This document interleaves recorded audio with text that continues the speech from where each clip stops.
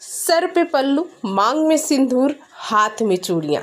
पहन ज्योति सिंह नीली साड़ी के संग अपने पति पवन सिंह के लिए वोट मांगने गई हैं। जी हाँ आप सभी को हम बता दें कि पवन सिंह की तबीयत थोड़ी ख़राब चल रही है। इस वजह से पवन सिंह उतना ज़्यादा काराकाट के क्षेत्र में नज़र नहीं आएँगे, लेकिन पवन सिंह के बिहाफ पे ज्योति सिंह अब मैदान में उतर चुकी हैं। जी हाँ घर घर जाकर ज्योति सिंह ने अपने पति के लिए वोट भी मांगा और साथ ही साथ रोड शो भी किया। यह ज्योति सिंह के लिए काफ़ी ज़्यादा एक्साइटमेंट लोगों को देखने के लिए मिली। साथ ही आपको ये भी बता दें कि ज्योति सिंह सादगी के साथ लोगों से मिल रही हैं। सभी लोग ज्योति को आशीर्वाद देने से भी पीछे नहीं हट रहे हैं और कह रहे हैं कि जल्दी से जल्दी तुम कोई खुशखबरी सुना दो। इस पर ज्योति सिंह शर्मा भी जा रही हैं, लेकिन पति के लिए वोट मांग रही हैं।